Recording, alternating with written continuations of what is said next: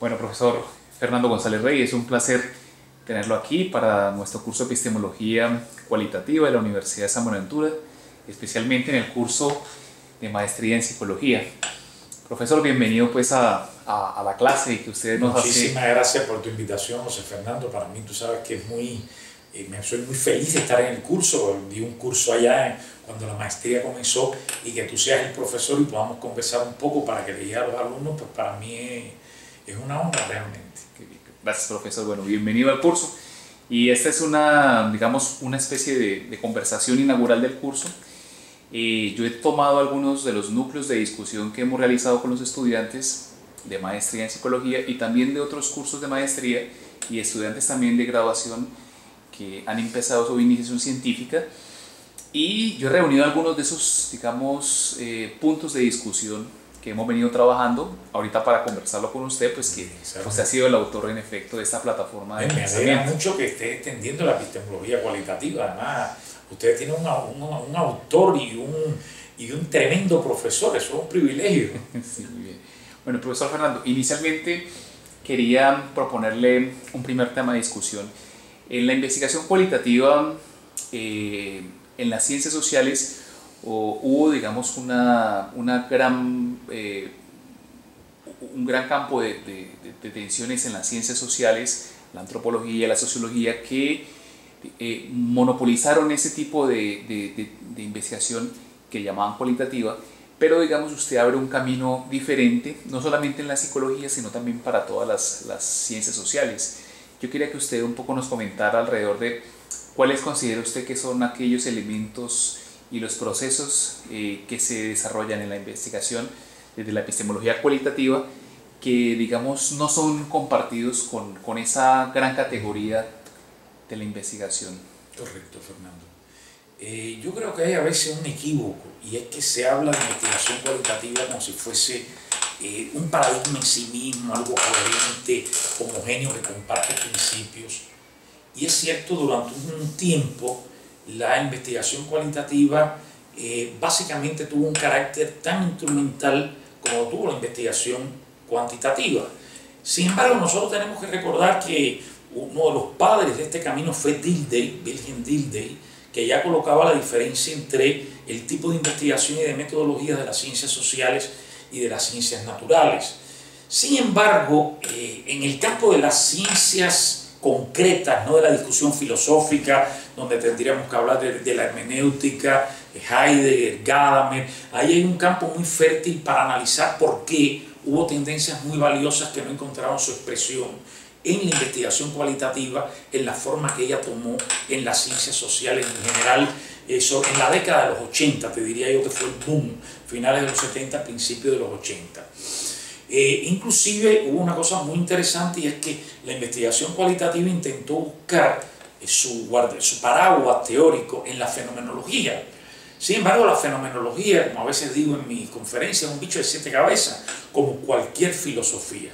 Entonces tomaron eh, el, el Husserl más inductivo, el Husserl que procuraba más una objetividad, hacer de la filosofía una ciencia tan objetiva como la matemática, porque él era matemático, sin embargo hay otros Husserls también con otras caras, y de ahí hubo un boom en los años 80, Bogdan y Taylor, Grasser y Strauss, eh, eh, eh y, Lincoln, Google y Lincoln, eh, Densing, que en esa época, después ellos también han tenido cambios, porque en la ciencia, en el pensamiento humano nada es estático, más que defendían que la investigación cualitativa tenía entre sus características que era una investigación inductivo-descriptiva. Entonces yo recuerdo que en mis primeros periplos también, en finales de los 80, principios de los 90, te diría, en toda la década de los 80, después que terminé el doctorado, yo procuraba un tipo de investigación cualitativa que nos permitiera construir un conocimiento que no se apoyara en los elementos descriptivos y explícitos del interlocutor. Y por ahí es que surge la epistemología cualitativa, que tiene varios elementos diferenciales. Yo te diría uno muy importante es el carácter constructivo interpretativo que le atribuye a la producción de saber. O sea, siempre construimos el conocimiento eh, como un modelo de pensamiento que se inscribe en el marco de nuestra teoría, en un momento particular de esa teoría que va evolucionando. Por lo tanto, el saber nunca es una aprehensión última y por tanto nos desprendemos del concepto de verificación, del concepto de demostración y lo que tenemos es la búsqueda de formas de inteligibilidad que apoyan nuevas prácticas humanas que son eficientes para resolver muchos problemas, pero con eso no podemos caer en la ilusión de que dominamos el mundo como el mundo es. O sea, tenemos capacidad de actuar sobre el mundo y obtener determinados efectos, abrir determinados caminos y mantener una perspectiva de producción de inteligibilidad. Pero entre mundo y producción de conocimiento siempre hay una diferencia. Nunca la ciencia es un reflejo de la realidad. Yo creo que el punto más importante en que la investigación cualitativa se separa de las otras versiones que, existen hoy de investigación cualitativa, o sea, la epistemología cualitativa, es el carácter constructivo interpretativo del conocimiento que después se lleva al plano de la investigación cualitativa concreta. ¿En, en, en qué sentido? En la construcción de indicadores que nos permiten ir avanzando no por expresiones explícitas de las personas estudiadas, sino por elementos indirectos que van tomando un valor en la construcción del investigador y nos permiten hipótesis para producir un saber sobre la subjetividad, que es la base ontológica esencial sobre el cual esta epistemología se desenvolvió y nos permite construcciones que están más allá de la conciencia, de la intención y del lenguaje intencional de las personas estudiadas. Esto es un gran desafío, estos son caminos difíciles eh, de, inteligibilidad, sin embargo nos permite saberes que las otras teorías para explicar los problemas que nos interesan estudiar en la investigación no nos posibilitaron. Y entonces estamos en ese camino.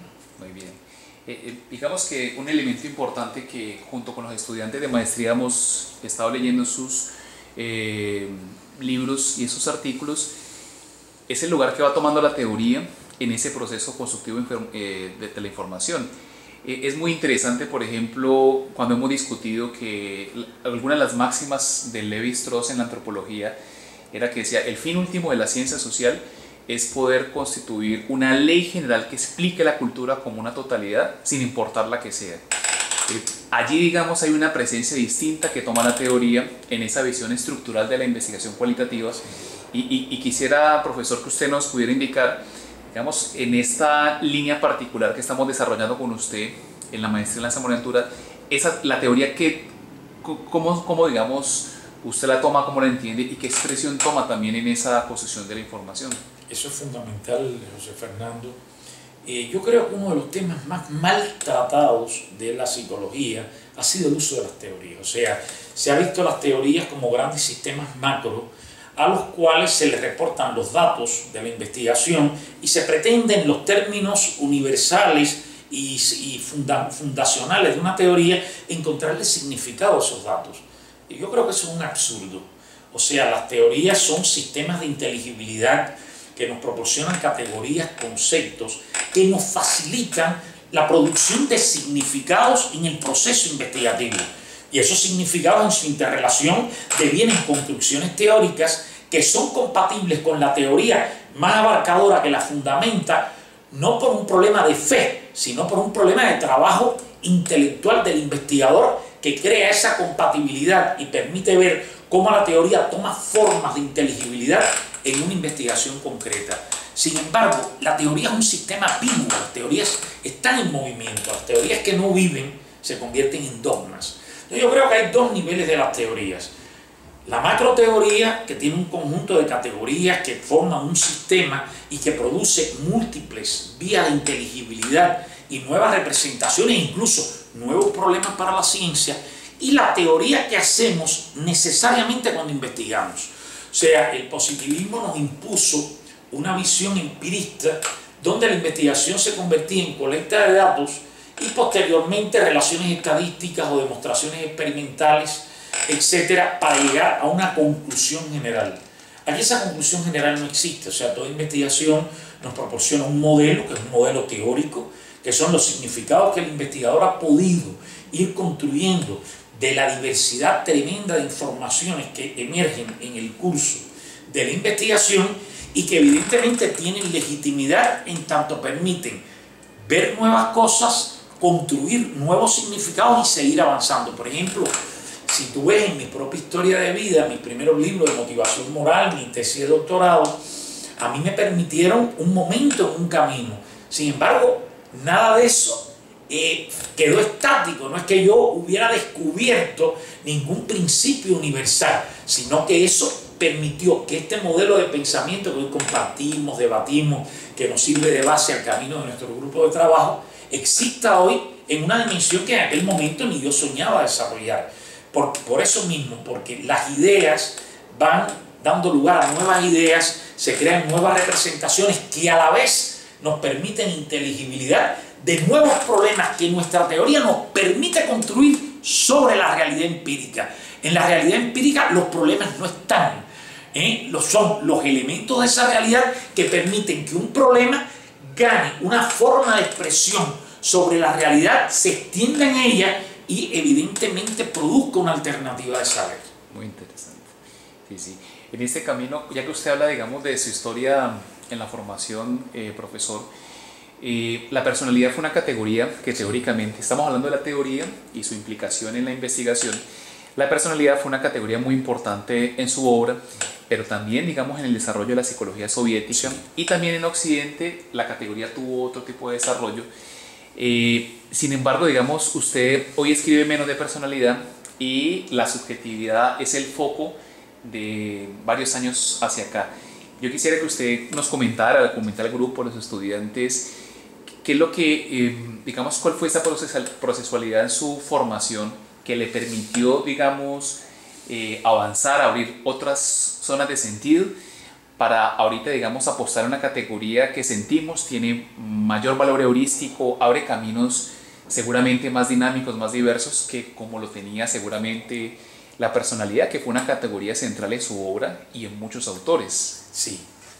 Mira, la cuestión es que en la psicología soviética el tema de la personalidad era un tabú por la, el, carácter ideológico que tomó la confrontación materialismo-idealismo.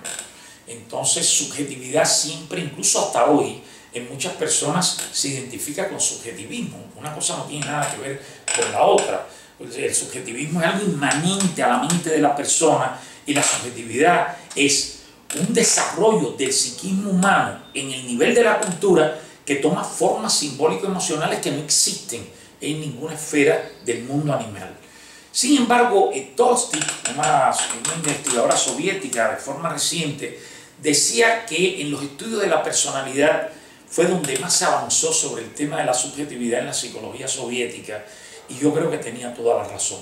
Por ejemplo, si tú analizas los conceptos últimos de Vygotsky, más desarrollados, que son conceptos eh, mucho más, que intigan mucho más al investigador, sentido, Pirishivani, el pensamiento como pensamiento de una persona que siente, que sufre, que padece, pensamiento dentro del flujo de vida del sujeto que piensa, tú vas a ver que eh, Vygotsky comienza a interesarse por cómo las funciones no son elementos aislados, sino que existen dentro de unidades más complejas que implican al sujeto de la función. Eso es una cosa importantísima.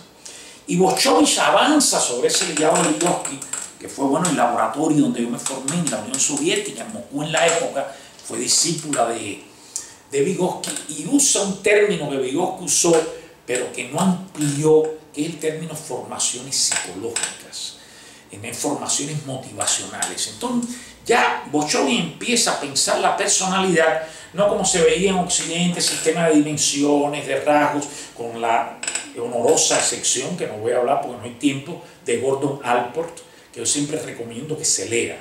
Entonces, y quizás en consonancia con algunas de las ideas de Alport, sin dominar a Alport, son esas coincidencias que se dan en figuras que avanzan sobre la complejidad de un problema, Bochovi empieza a ver la personalidad como sistema de formaciones psicológicas complejas.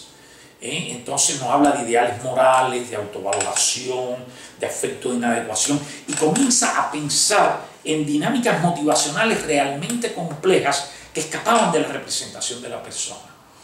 Y en su libro clásico ya Vygotsky dice, eh, discúlpenme, Boshovis dice, la personalidad es un sistema que en su desarrollo se emancipa de las condiciones inmediatas del medio externo. Por tanto, de esto es un sistema subjetivo, porque precisamente podemos emanciparnos de la inmediatez del medio externo cuando somos capaces de organizar nuestras proyecciones, nuestros proyectos y nuestras ideas eh, dentro de la fertilidad de nuestra imaginación y nuestra fantasía. Y estas son producciones subjetivas.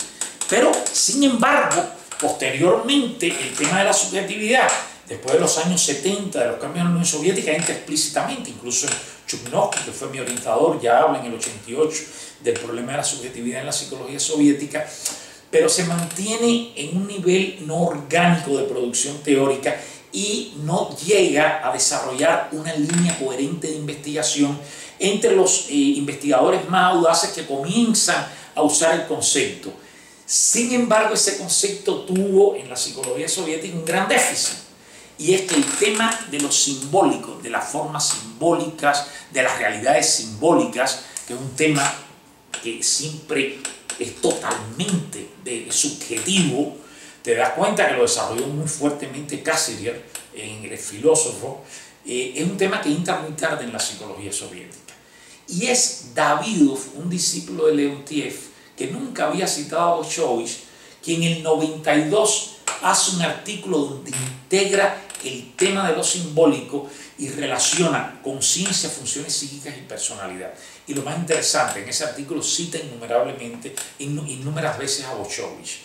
Yo pienso que conceptos como ese, el concepto propio de sentido en Vygotsky, que, que, a pesar de, de, la, de, su carácter inacabado, algo que era muy común en la obra de Vygotsky por la brevedad que tuvo, que Vygotsky daba destellos brillantes, pero no tenía un acabamiento en los destellos, y algo que se observa en los conceptos de Vygotsky es la ausencia de una definición ontológica nueva en relación a los conceptos tradicionales que manejaba la psicología soviética y la psicología de forma general.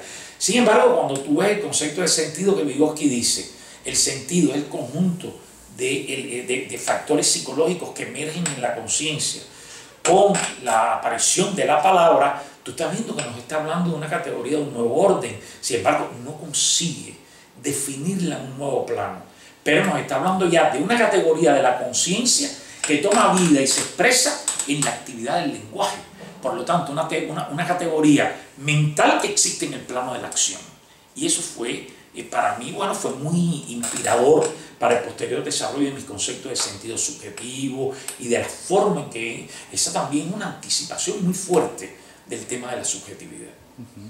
Eh, profesor, cuando nosotros hemos tenido en la maestría diferentes profesores que nos acompañan, y que también son internacionales, en algún momento tuvimos un debate con el profesor Martin Packer en el que él nos planteaba cómo, digamos, la subjetividad era problemática incluirla como categoría, objeto, digamos, de la psicología de las ciencias sociales por su oposición a la objetividad.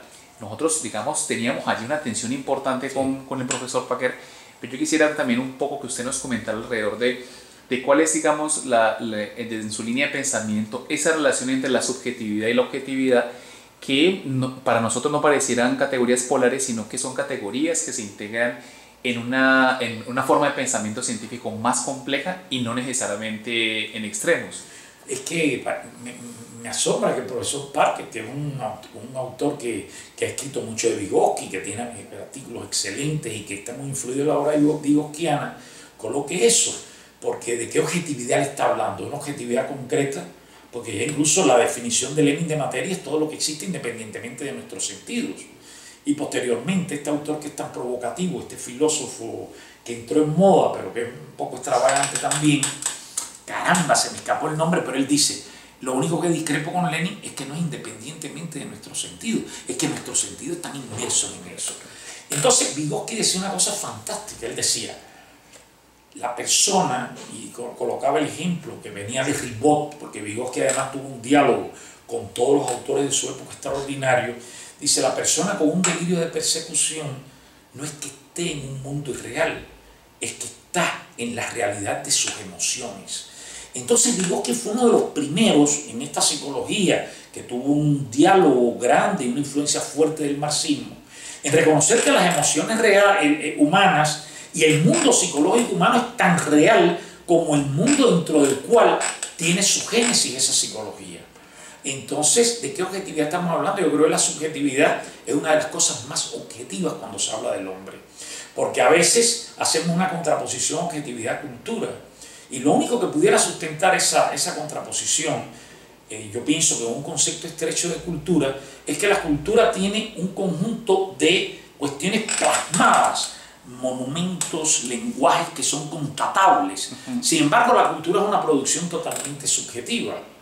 ¿eh? Y precisamente subjetividad y cultura van de la mano. El mundo humano es un mundo de la cultura y es la subjetividad humana la que permite permanentemente un potencial creativo que no está explicado por ninguna de las condiciones objetivas en que el creador surge y que, el ambiente social acompaña a la figura del creador. Esas producciones subjetivas, no subjetivas que están fuera de la realidad, subjetivas que nacen en una realidad pero que no son una reproducción mimética de esa realidad de otro orden ontológico. Porque cuando hablamos de la mecánica cuántica, estamos hablando de un otro orden ontológico. Pero la mecánica cuántica en sus inicios le creó dilemas a la objetividad metafísica que regía la visión empirista y materialista de ciencia en el sentido de, por ejemplo, el principio de la incerteza de Heisenberg, que la partícula es proceso y corpúsculo, pero solo se puede determinar en una de esas dos condiciones y no se pueden aprender las dos. Y cuando se crearon el estudio de las partículas en la mecánica cuántica, resulta que no se sabía, o la polémica filosófica era, lo que estamos estudiando es el movimiento real de la partícula o la forma que toman los movimientos de la partícula bajo la acción de nuestros instrumentos. Y es que el saber humano es una producción subjetiva. Por eso me extraña extraordinariamente. Yo creo que la subjetividad es una forma de objetividad no concreta, porque lo que para mí la objetividad son los fenómenos que son capaces de generar inteligibilidad en los términos humanos y de ser acompañados en procesos de construcción del conocimiento. Por tanto, hablamos en la policromía del humano de múltiples objetividades. Hablando de esta relación entre ontología y realidad, profesor Fernando, eh, nuevos, digamos, eh, acontecimientos, nuevos, nuevas procesualidades en la dimensión subjetiva, en la dimensión, digamos, de la subjetividad en términos más sociales, más globales. Eh, encontramos fenómenos, por ejemplo, como la economía, como los procesos, digamos, del Estado Islámico, que es, una, es, es otra configuración, son otras socialidades que se están constituyendo. Inclusive hemos discutido con usted alrededor de cómo, digamos, las ciencias sociales hoy en día eh, se enfrentan, digamos, a unos fenómenos frente a los cuales el sistema de representaciones que ha constituido y sus definiciones ontológicas y la forma como concibe los procesos humanos pareciera que no, no, dan cuenta, digamos, para poder explicar en términos histórico-teleológicos estas nuevas formas, digamos, que, que toma lo humano que nos desafían no solamente en el plano más empírico de la realidad, en el plano, digamos, más factual, sino en el, en el plano, digamos, más emocional y más intelectual, al vernos limitados para poder explicar ese tipo de fenómenos complejos. Yo te digo honestamente, José Fernando, yo no explico por qué esa visión que yo te diría eh, intentando satanizar lo que hoy se nos presenta como el Estado Islámico, que realmente es una cosa impresionante y realmente tiene componentes bárbaros. Pero ¿cómo nos vamos a asombrar ante eso después de haber existido un nazismo, después de haber existido un estalinismo? Y ahí yo te repetiría algo que Bauman dice fantásticamente, aunque Bauman no precisamente es un estudioso de la subjetividad, que dice, el holocausto no fue una, eh, una patología humana, el holocausto fue la otra cara de la subjetividad. Entonces nosotros yo creo que no hemos eh, eh, pensamos en la subjetividad en términos domesticados porque tenemos una herencia de un racionalismo de pensar que la razón, la razón humana domina en las prácticas humanas. Y yo siempre he dicho que la razón está al servicio de la subjetividad. Y evidentemente no habrá elementos objetivos que linealmente puedan explicar la explosión subjetiva que nos ha impresionado a todos que el fenómeno del Estado Islámico ha creado como jóvenes europeos creados en Inglaterra, formados en una cultura occidental, se unen al Estado Islámico. ¿Qué nos permite explicar eso? Porque lo que sería visible es decir que son seres patológicos. O sea, ahí caeríamos en la patologización que hoy caracteriza en gran medida gran parte de las ciencias sociales. El niño inquieto tiene déficit de atención y trastornos de hiperactividad. O sea, esa tendencia rotular que siempre nos ha ocultado la verdadera naturaleza compleja de los fenómenos. Incluso te recuerdo, Fernando, una cosa muy interesante, aquel libro de Foucault, donde Foucault no, no hace el texto, ya a veces se escapan los títulos, que Foucault hace, coloca el legajo eh, jurídico en la época, el legajo médico de este hombre, ah, yo, Pierre Rivière, que maté a mi madre, mi hermana y mi hermano. Entonces, leer ese libro es fantástico, porque estos son legajos de hace muchísimo tiempo, y cuando tú lees el libro, tú dices, caramba, el acto es una barbaridad. Sin embargo, la comprensión del sentido del acto se da en el diario de Pierre Rivière, catalogado como un loco, que no lo era. O sea, que bueno, una de las cosas de Foucault fue la fustigación al concepto de locura eh, eh, eh, unido al concepto de patología y exclusión. Digamos que uno podría plantear, profesor Fernando, que, que las, esa tendencia, como usted lo decía ahorita, a la patologización de lo desconocido es justamente una muestra de, de los límites de la comprensión en el sistema de representaciones que tenemos. ¿no? Pareciera que es digamos, una de las salidas a los fenómenos que, a los que difícilmente podemos encontrarle sentido en nuestro campo de inteligibilidad. Parece que es una salida relativamente cómoda a los... Relativamente cómoda y salvadora de los status quo establecidos. Por eso es que la subjetividad es una categoría tan subversiva. Si tú analizas contra la subjetividad va a estar la iglesia sin embargo, tenemos el fenómeno de pederastía en los padres. Contra la subjetividad van a estar los sistemas autoritarios. ¿Por qué? Porque evidentemente la subjetividad siempre trae las alternativas, la policromía, no la reducción del humano a una verdad. Y contra la subjetividad va a estar el propio capitalismo, que manipula desde fuera eh, formas de objetivación del éxito, del logro, de la aceptación social, que son masivamente consumidas. Y por lo tanto no tiene ningún interés en precisamente que exista la policromía que permite incluso la oposición efectiva a las formas eh, hegemónicas que el sistema ha tomado Entonces, todas las formas de poder se van a oponer a la subjetividad, porque todas las formas de poder se protegen de precisamente las opciones subjetivas que no se dejan dominar por esos poderes y que representan el principio del fin de esos poderes. ¿Quién iba a decir que Víctor Franklin en un campo de concentración iba precisamente a reflexionar sobre el sentido de la vida y después iba a hacer una obra que iba a enriquecer tremendamente la visión del humano? Entonces, precisamente ese, ese germen que nunca se deja colonizar, que siempre tiene la resistencia, que siempre genera la alternativa como forma de realización, es extraordinariamente subversivo para que los sistemas normativos dominantes lo acepten. Y no tenemos una cultura de la subjetividad, vivimos en una cultura de la objetividad. Justamente esos son los temas que nosotros, y más que temas, procesos de formación que intentamos promover en la maestría en psicología, porque además los estudiantes, digamos, se encuentran en una especie de, de callejón y es, eh, quieren posicionarse críticamente, eh, la teoría la asumen críticamente y a veces cuando se enfrentan a los escenarios sociales de investigación y cuando se enfrentan, digamos, a sus contextos, especialmente aquellos más institucionalizados, allí ellos, digamos, se debaten un poco entre, tengo una posición crítica, pero también, digamos, asumo las consecuencias de lo que implica confrontar la institucionalidad, ese tipo de, digamos, de elementos alrededor de, de, lo que es un joven investigador, que, que, creemos que, que, la maestría es ese proceso de, un joven investigador o una joven investigadora que se va constituyendo en este caso como una persona que tiene unos posicionamientos, que plantea, digamos, una palabra y que la puede plantear, argumentar. Eso, esa es una de las situaciones más complejas que, que ellos están viviendo, más, digamos, en un mundo en el que, por ejemplo, la dimensión del trabajo es una de las dimensiones más coercitivas, una de las, digamos, a veces más anuladora o quizá obstaculizadora de los procesos de singularización del propio investigador. Allí el investigador se ve en un conflicto. Profesor, usted que tiene tanta experiencia en la investigación, ¿usted, usted qué puede, digamos, comentarle a jóvenes investigadores? Me interesa mucho lo que me has preguntado y creo que es un mensaje esencial para ese grupo de jóvenes que Lo único que lamento es no ver las caras bonitas de las colombianas que deben estar en ese grupo. Y los hombres no se sientan dolidos. O sea, siempre me llevo muy bien con ustedes, pero realmente extraño a Colombia por las caras de esas mujeres jóvenes.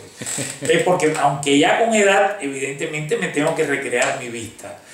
Mira, yo creo que el investigador, muchas veces incluso queriendo ser crítico y asumiendo formas alternativas a las que fueron dominantes y que hegemonizaron eh, parte del siglo XX y que hasta hoy en las instituciones de enseñanza de la psicología, sobre todo en América Latina, siguen hegemonizando, el pensador, el, el investigador se ve como un científico, y coloco aspas, porque quiero hacer una sección de la palabra científico, como un científico instrumental y técnico.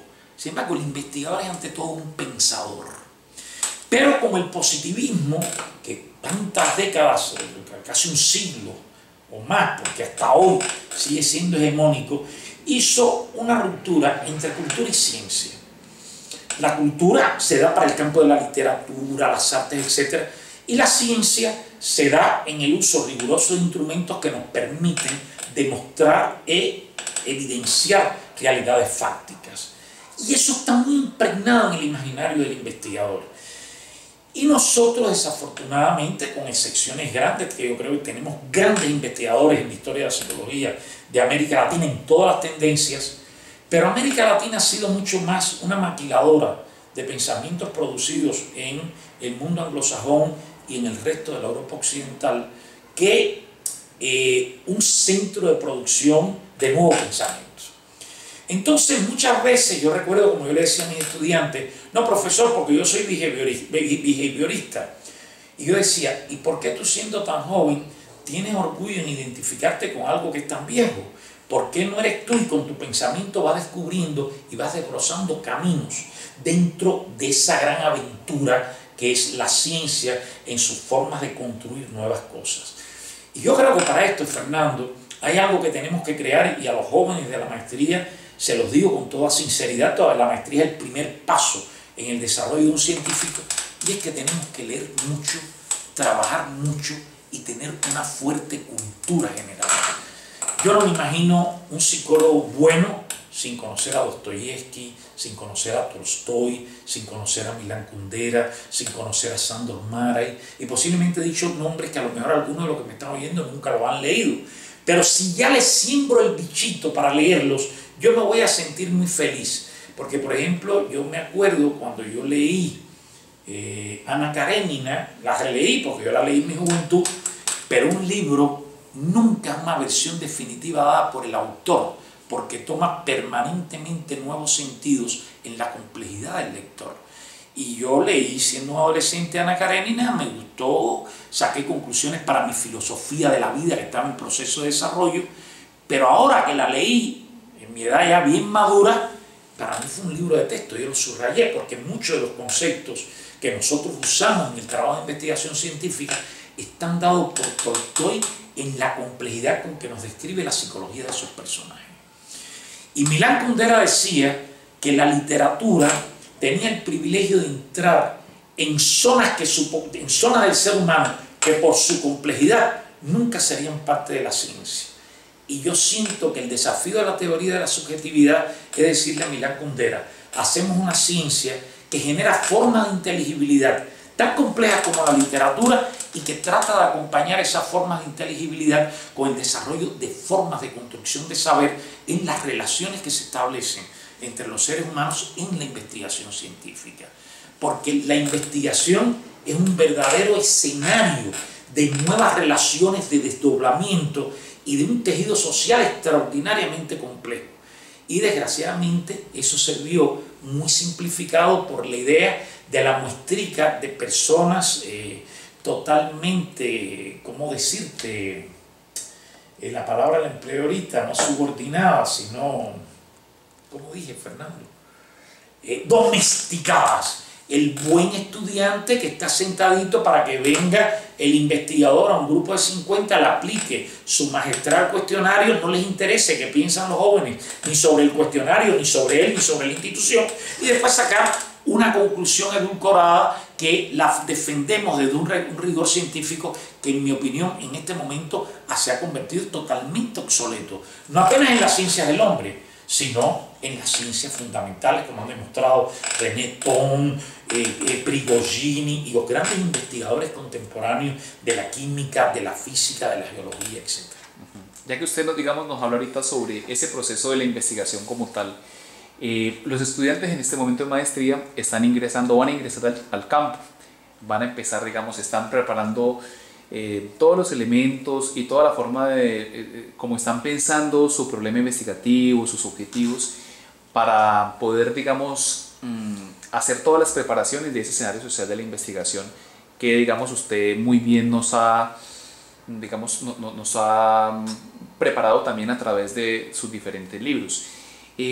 En ese proceso, este proceso, digamos, de entrar al campo, a veces eh, surgen en los jóvenes investigadores un poco de temores y, o, a veces, digamos, hay una cierta rigidez mm, por, por esa visión instrumental que usted nos describe de la ciencia muy bien, alrededor de que el instrumento ya estaba prefabricado y solamente era un asunto de la aplicación.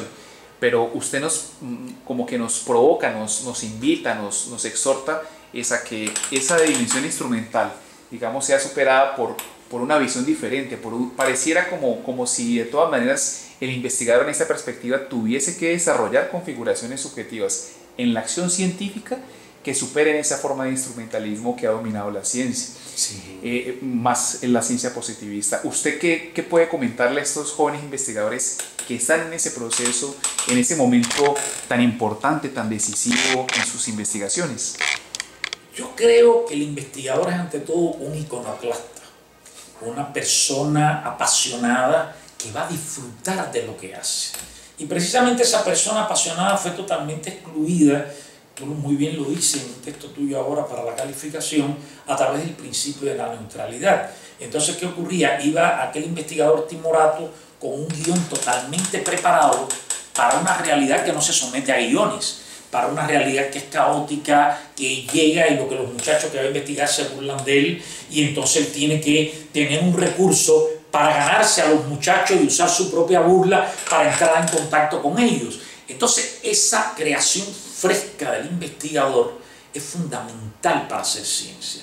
El investigador tiene que entrar en un contexto, él lleva siempre algunos recursos, algunas herramientas, pero evidentemente lo más importante es cómo se configura ese contexto de diálogo que toma múltiples formas, porque el instrumento no es más que una vía para estimular la expresión del otro y para que se desdoble en otros instrumentos que permitan garantizar esa expresión.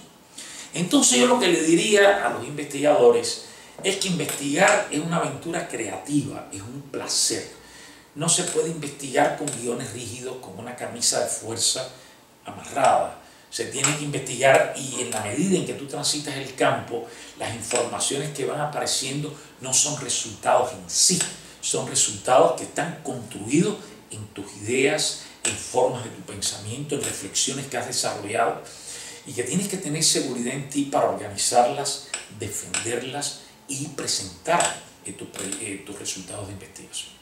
Eso es lo que yo le diría a un nuevo investigador bastante de los, de los estudiantes nuestros de maestría están en ese momento también, ya digamos, hablando de su, de su trayecto de vida, eh, estaban considerando, digamos, eh, si ingresan o no, digamos, al campo científico de manera más, digamos, eh, vehemente, más directa, o si, digamos, eh, continúan en unas prácticas profesionales alrededor de la psicología o quizá otro tipo de disciplinas pero digamos que en el campo, digamos, dedicarse a la ciencia, profesor, eh, ¿usted qué les podría decir? Porque digamos que la, la, maestría en Colombia también es justamente un tránsito en el que muchos, digamos, seguramente van a ser personas, o digamos, otras personas también, digamos, la, la, ciencia, la formación científica no, solo alimenta, no solamente alimenta a un investigador, sino a un pensador, digamos, en su propia vida, en la procesualidad de su vida. Para terminar, profesor, ¿usted qué les podría decir, digamos, a a estos jóvenes, digamos, que están analizando ese proceso en su propia vida, en su propia trayectoria de trabajo. Usted que es un investigador, que digamos que, que, que, ha pasado una buena parte de su vida justamente dedicado a eso, a la producción de ciencia, a la producción de conocimiento. Mira, yo quiero recordarle a, mi auditorio ahora, que desafortunadamente no lo veo, ¿no? que seguro hubiera salido múltiples desdoblamientos y otras discusiones, que una de las cosas que rompe, por ejemplo, esta visión de ver la ciencia, que la representa la epistemología cualitativa, las estructuras disipativas de Prigogini en el campo de las ciencias naturales, la teoría del caos de René Thom, todos estos sistemas que hoy nos presentan una complejidad que no es aprensible por la aproximación directa a un instrumento que ya se convierte en resultado, es que profesión y ciencia no son incompatibles. Y esto el primero que nos demostró fue Freud. Freud fue ante todo un clínico, sin embargo hizo aquella monstruosa obra que fue el psicoanálisis, ¿verdad? Que es una construcción, evidentemente una construcción científica, con una concepción de ciencia que no nos logra explicitar, muy agarrada a veces a un, positivismo todavía naturalista, Freud fue un hombre de su época, pero que sin embargo fue profundamente subversivo y revolucionaria en las representaciones del hombre y de los procesos humanos que de allí se derivaron. Y eso salió de la clínica. O sea, que el hecho de que yo sea un profesional de la escuela o que yo sea un clínico no implica que yo no sea un investigador. Yo soy un investigador en tanto me interesa que eso que estoy construyendo, esas informaciones a través de las cuales estoy actuando en una práctica sobre los otros, se convierta en un saber que me permita defender un camino en el campo en que me desarrollo. Esa es la ciencia. Bueno, profesor, muchas gracias entonces por este gran encuentro eh, y, y por, digamos, abrir nuestro curso de maestría en psicología. Este será el segundo nivel y esperamos que en el tercer nivel, digamos, nuevamente podamos tenerlo eh, bueno con nosotros. Oye, es un tremendo placer. Sabes lo que me gusta Cali, Colombia, además teniendo los amigos que tengo como tú, Eduardo, los múltiples amigos que tengo allá, Johnny, en fin. Eh, realmente para mí será un placer. Yo espero reponerme de estos problemas que me han afectado la motricidad y por supuesto estar por allá por Colombia. Si ahora te lo estoy haciendo aquí de forma especial, evidentemente que te voy a recordar esa invitación. Claro que sí. Muchas gracias, profesor Fernando. Caramba, un placer. ¿eh? Profesor Fernando, muchas gracias entonces. Nos veremos entonces en Colombia. Gracias, caramba.